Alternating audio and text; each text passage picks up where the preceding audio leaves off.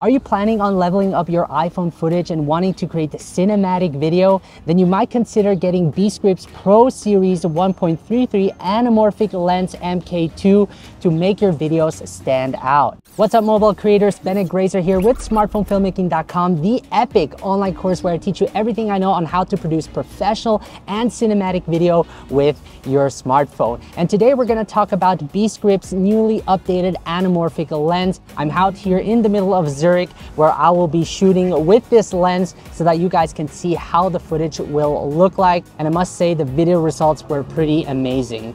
Now, if you don't know what an anamorphic lens is, it basically creates that organic widescreen cinematic look in your video. Usually you don't get that type of look just using the standard lens on your iPhone. What many people do is that they add a letterbox in post to create that sort of widescreen effect. But the truth is, if you want that 2.41 aspect ratio, that widescreen cinematic look, then the anamorphic lens will give you that organic look. Now with the anamorphic lens, it increases the view sideways, whereas using the standard lens on your iPhone, it increases it in all direction. So with the anamorphic lens, if you want those natural black bars in your video without losing image resolution, this is the option to go with. Because with the standard lens, you would have to add those black bars in your video, losing resolution in the end. Another characteristic the anamorphic lens has is that it creates those epic horizontal lens flare in your videos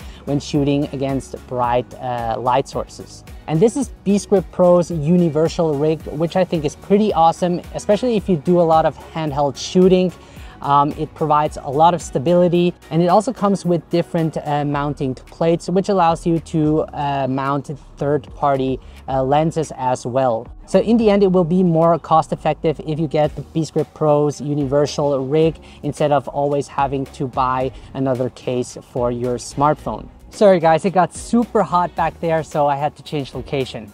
So this is how the full setup would look like when I shoot handheld. So on the back you have a 37 millimeter thread and at the front a 58 millimeter filter thread that allows you to mount an ND filter, for example, to create more motion blur in your video. But in my case, I don't use it that often, especially when shooting in slow motion, since there isn't much motion blur in it anyways. Something else to mention is that you want your anamorphic lens to be positioned vertically, otherwise your video will look way distort it. Now, when using an anamorphic lens, it's best to use a third-party video app that allows you to de-squeeze the image. So in this case, uh, I like using Filmic Pro, and you'll see that it looks kind of wonky. So to de-squeeze the image, I'll head over to Settings, Hardware, and since this is a 1.33 times anamorphic adapter, I'll select 1.33 and you'll see that it has been de-squeezed,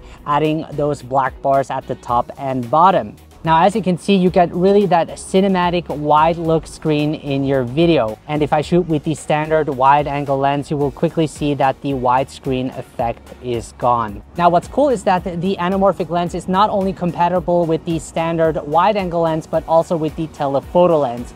And with the Beastgrip Pro Universal rig, I can simply uh, unscrew this and switch to the telephoto lens in a matter of seconds. And yeah, holding it this way really allows me to have a steady grip and create smooth handheld shots with it. Now, who is the anamorphic lens for? For anyone who wants that organic wide angle perspective in their videos and wants to have those epic lens flare in their videos, then the anamorphic lens will provide that cinematic look for you. And I especially like pairing it with Beastgrip Pro's universal rig as shooting with it handheld really provides a great experience and feels professional. So if you want to stand out from the other mobile creators, then having an anamorphic lens will certainly step up your mobile filmmaking game. Now guys, if you want to learn more, make sure to check out smartphonefilmmaking.com, which is my mobile filmmaking school where you will learn how to to shoot cinematic and professional looking videos on your smartphone. You can join other students in the program and I'm still running a sale that will end this week where you can get 30% off using the code SF30OFF.